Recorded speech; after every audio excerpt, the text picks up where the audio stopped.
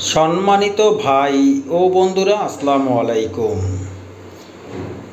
চলুন আজকে কিছু গুরুত্বপূর্ণ জিনিস জেনে নেই। যেমন অনেকেই প্রশ্ন করে থাকেন যে, ভীম ছাদে খরচ বেশি হয় নাকি স্যালাপ ছাদে খরচ বেশি হয়ে থাকে? আর মজবুত আসলে কোন ছাদগুলো হয়ে থাকে? ভীম ছাদ না স্যালাপ ছাদ মজবুত হয়ে থাকে? তো এখানে আরেকটি বিষয় রয়েছে। যেটি আমরা ফ্লোরে প্রতিটি বিল্ডিংয়ের কিন্তু ফ্লোর ডালাই দিয়ে থাকি এবং সেখানে টাইলসও ব্যবহার করে থাকি। তাহলে আপনি যদি একটি কথা যে দশ ফিট আপনার বিল্ডিংটি ক্লিয়ার রাখতে চান, তাহলে আপনাকে যে ভীম ছাদ দিতেছেন বা ছাদ ডালাই দিতেছেন, সেই ছাদগুলো ক্লিয়ার কতটুকু রয়েছে, সেখানে ভীম কত ফিট ওপরে দিতে হবে। মনে রাখবেন যখন আপনি ফ্লোর ডালাই দিয়ে সারবেন পরে ছাদ ডালাই দিবেন, আগে ফ্লোর ডালাই দিয়ে। তখন কিন্তু আপনাকে শুধু দুই ইঞ্চি বা এক ইঞ্চি ক্লিয়ার রাখলেই আপনার হয়ে যাবে, হয়তো সামান্য কিছু শর্ট পড়বে দশ ফিট থেকে।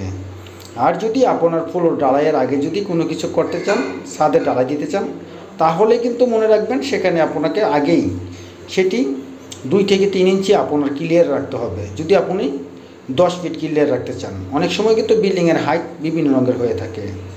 যখনই আপনি বড় কোনো বিল্ডিং ফাউন্ডেশন তৈরি করবেন, তখন কিন্তু সেখানে দশ ফিট হয় না। সেখানে সাড়ে নয় ফিট হাইট হয়ে থাকে প্রতিটি বিল্ডিংয়ের ফ্ল্যাটে আর কিছু বিল্ডিংয়ে যেটা আমরা দশ সচরাচর থাকি, করে থাকি এলাকায়, সেগুলো কিন্তু হয়ে থাকে দশ ফিট কেউ যদি গোডাউন করে থাকি বা মাদ্রাসা করে থাকে, সেখানে কিন্তু এগারো ফিট হাইট হয়ে থাকে বা কোনো গোডাউন তৈরি করলে সেখানে বারো ফিটও কেউ দিয়ে থাকে।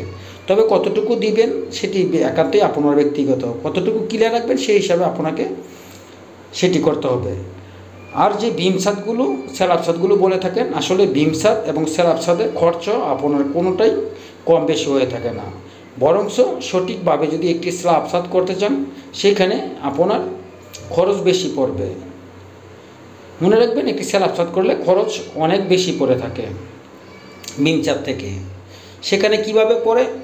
সেখানে আপনার বিমে রডের পরিমাণ বেশি লাগে এবং যে জালি ব্যবহার করে থাকেন ছাদের জন্য সেখানে রড বেশি ব্যবহার করতে হয়। দ্বিতীয়ত ছাদের যে ডালাই, সেটি কিন্তু সাত ইঞ্চি ডালাই দিতে হয়। আর যদি বিম ছাদ হয়ে থাকে, সেখানে পাঁচ ইঞ্চি ছাদের ডালাই হলেই চলে। আর ছাদের নিচে যে জুলবিমগুলো সেগুলো দশ ইঞ্চি হয়ে থাকে অ্যাভেলেবেল তবে ফাউন্ডেশনের ওপর এবং পিলারের দূরত্বের ওপর বিম কম বেশি হতে পারে।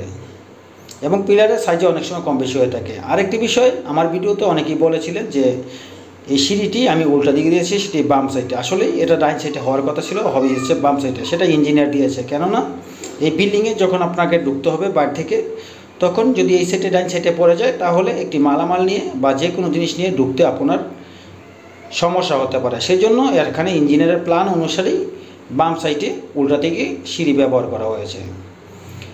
এখানে যে ছাদটি ঢালাই দেওয়া হচ্ছে, সেই ছাদের যে শাটারিংগুলো, সেটি তলাগুলো কিন্তু খাটানো হচ্ছে আপনার নয় ফিট তিন ইঞ্চির ভিতরে।